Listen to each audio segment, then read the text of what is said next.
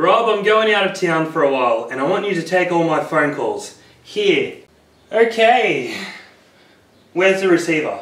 I just don't want anyone calling me long distance while I'm gone. Okay, so why is it so secret? The thing is, there's secret buried treasure out there. I've got it here, right here on my map that my late grandfather gave me. He's deceased, you know. Here. Um, these are just sports results from the local paper. These, these aren't any good. Ah, I was just testing you. Um, I've got it memorized at the top of my head. Oh, you memorized it? No, on my eyelids. I can... It's tattooed. Whoa. Besides, I don't want anyone else knowing. I'd best be off. I've got a lot of things to do. See ya. Jono! Tim! Surf's up!